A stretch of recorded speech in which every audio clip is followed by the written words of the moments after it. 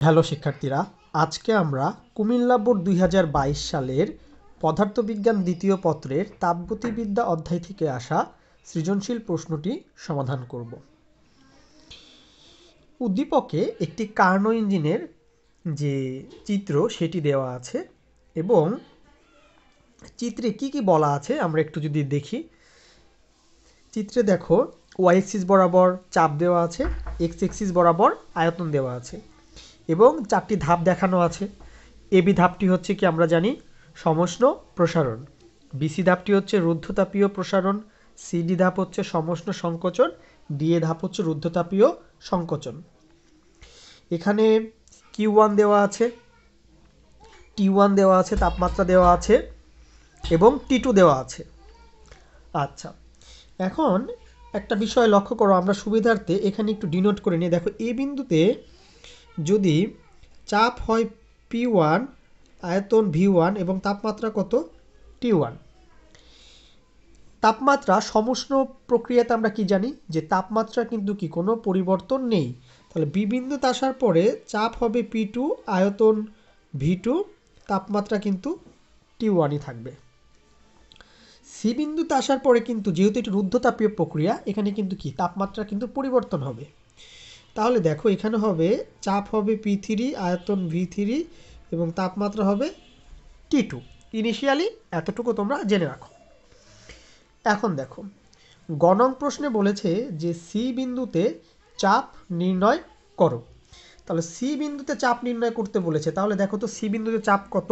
P three তাহলে আমরা যে বিসি যে প্রক্রিয়াটা আছে বিসি প্রক্রিয়া, সেই প্রক্রিয়া থেকে কিন্তু কি? আমরা কিন্তু পি থ্রি যে চাপ আমাদের বের করতে বলেছে, সেই চাপ কিন্তু আমরা বের করতে পারি।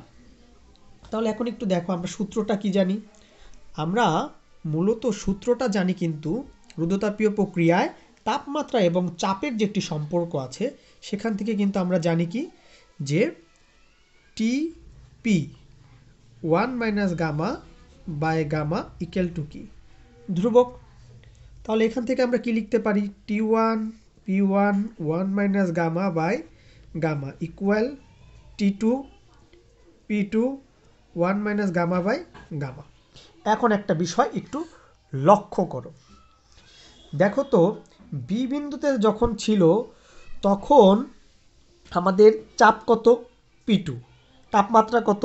টি ওয়ান এবং যখন সি বিন্দুতে ছিল, তখন আমাদের চাপ কত? পি থ্রি এবং তাপমাত্রা কত? টি টু তাহলে এই সূত্রটিকে এই সূত্রটিকে আমরা কিন্তু একটু মডিফাই করে লিখব। তাহলে এটি হচ্ছে মূল, এভাবে লেখা যায়। তাহলে আমরা চিত্র অনুসারে কী লিখব? চিত্র অনুসারে লিখব T one P two one minus gamma by gamma equal T two P three one minus gamma by gamma এটা আমরা লিখব। তাহলে এখান থেকে আমাদের টার্গেট হচ্ছে কি? আমরা পি থ্রি বের করব। তাহলে দেখো T one by T two equal কত? P three by P two one minus gamma by gamma এখন উভয় পক্ষকে যদি আমি gamma by one minus gamma দিয়ে গুণ দেই, তাহলে কিন্তু দেখো তো এরকম আসবে না।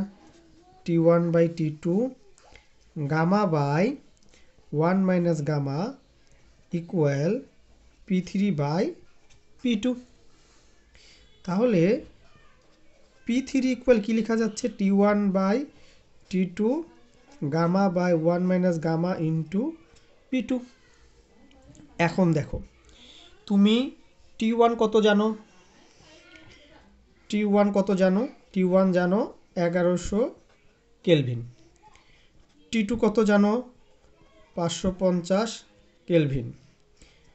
পি টু কত যেন দেওয়া আছে four point six into ten to the power five newton per metre square. তাহলে নিউটন পার মিটার স্কোয়ার দেওয়া আছে। আচ্ছা এখন একটা বিষয় লক্ষ্য করো, তোমার তো গামা দরকার। প্রশ্নে তো বলে দেয় যে এক পরমাণুক না দ্বি দ্বিপরমাণুক না বহু পরমাণুক এই ক্ষেত্রে আমরা যেহেতু কার্ণ চক্রের ব্যাপার সেহেতু কিন্তু একটু গ্যাসিয়াস ব্যাপার। সেহেতু আমরা গামাটা দ্বিপরমাণুক ধরে নিব। তাহলে দ্বিপরমাণুক হলে কত হয়? ওয়ান পয়েন্ট ফোর আমরা ধরে নিব। এটা সাইডে লিখে দিতে পারো, ধরি। তাহলে যেহেতু গ্যাসিয়াস দ্বিপরমাণুক, সেহেতু আমরা কত? ওয়ান পয়েন্ট ফোর ধরে নিলাম। এখন যদি ভ্যালুগুলো বসাও টি ওয়ান কত? এগারোশো টি টু কত? পাঁচশো পঞ্চাশ যদি ভ্যালুগুলো যদি বসাও, পাঁচশো পঞ্চাশ, one point four by one minus one point four into P two মানে হচ্ছে four point six into ten to the power five. তাহলে এটি যদি ক্যালকুলেশন করো, তাহলে ক্যালকুলেশন করলে আসবে four point zero six six into ten to the power four newton per metre square. তাহলে এটি ছিল তোমাদের যে বলেছিল সি বিন্দুতে চাপ নির্ণয় করো, এইটি ছিল সেই সি বিন্দুতে চাপ।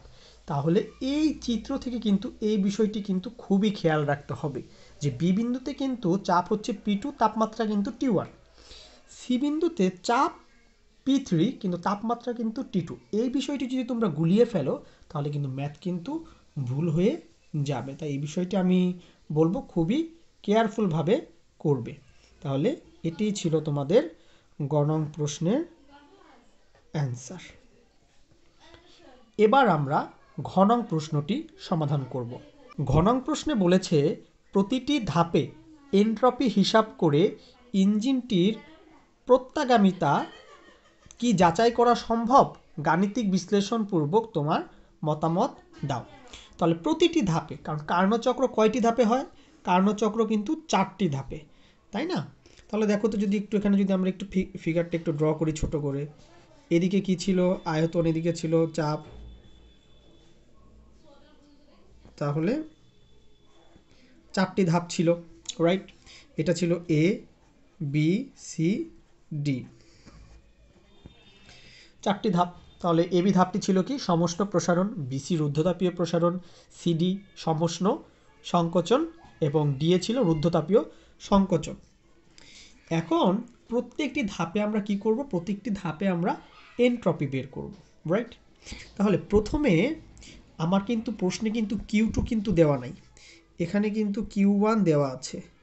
কিউ ওয়ান কত দেওয়া আছে? কিউ ওয়ান দেওয়া আছে পাঁচশো জুল। কিউ টু কিন্তু দেওয়া নেই। তাহলে কিউ টু যেহেতু দেওয়া নেই, সেহেতু কিন্তু আমাদের প্রথম টার্গেট হচ্ছে কিউ টু বের করব। তাহলে দেখো কি কি দেওয়া আছে?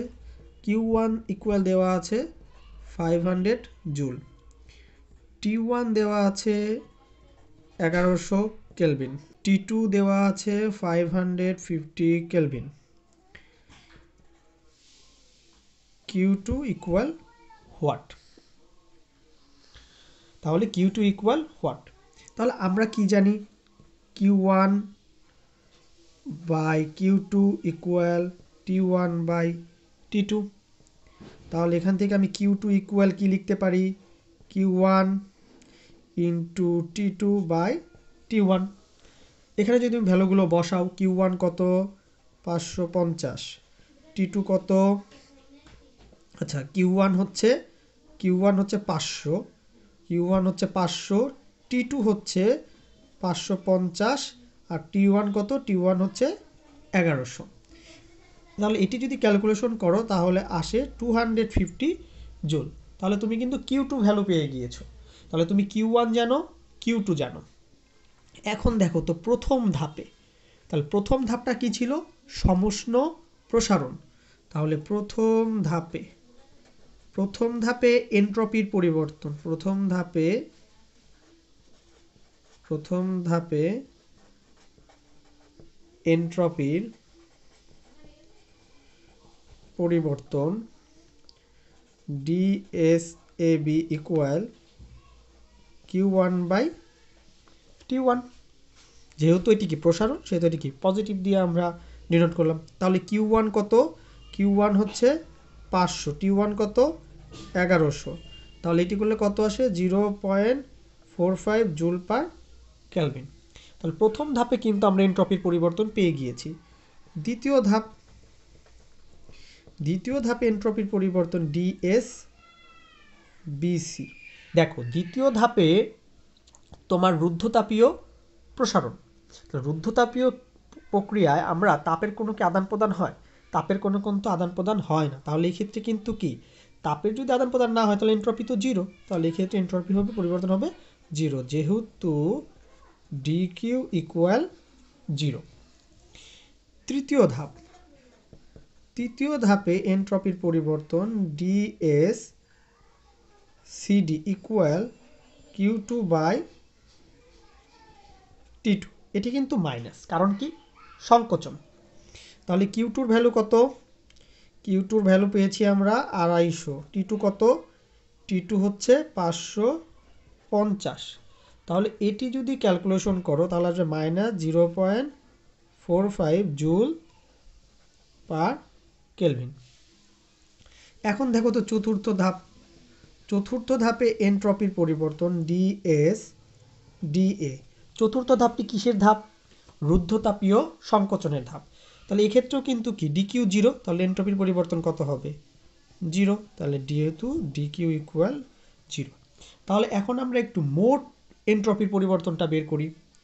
তাহলে মোট এন্ট্রপির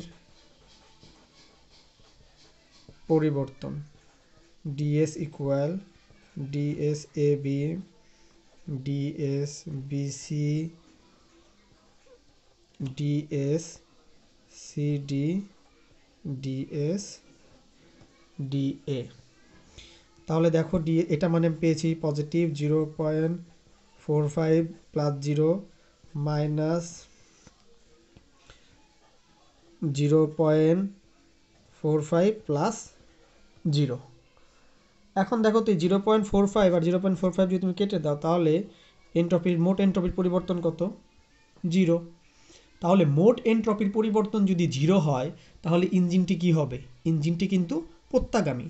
তাহলে আমি বলতে পারি যেহেতু ডিএস ইকুয়াল জিরো, সুতরাং ইঞ্জিনটি ইঞ্জিনটি প্রত্যাগামী। ইঞ্জিনটি প্রত্যাগামী। এই ছিল তোমাদের ঘনং প্রশ্নের উত্তর। আশা করি বুঝতে পেরেছ। তাহলে দুই ক্ষেত্রেই তোমরা মানে চারটা প্রক্রিয়ায় ধাপেই তোমরা কি এন্ট্রপি পরিবর্তন বের করবে? যেহেতু দুইটা ধাপ রুদ্ধতা হবে সেহেতু দুইটা ধাপের এন্ট্রপি কিন্তু শূন্যই হবে। এটি তোমরা আগের থেকেই জানো। তাহলে সমষ্ণ প্রসারণ আর সমষ্ণ সংকোচন, এই দুটো ধাপের এন্ট্রপি বের করে যদি দেখো যে সমান ও বিপরীত এসেছে তাহলে কিন্তু কি হবে? ইঞ্জিনটি প্রত্যাগামী হবে। ধন্যবাদ।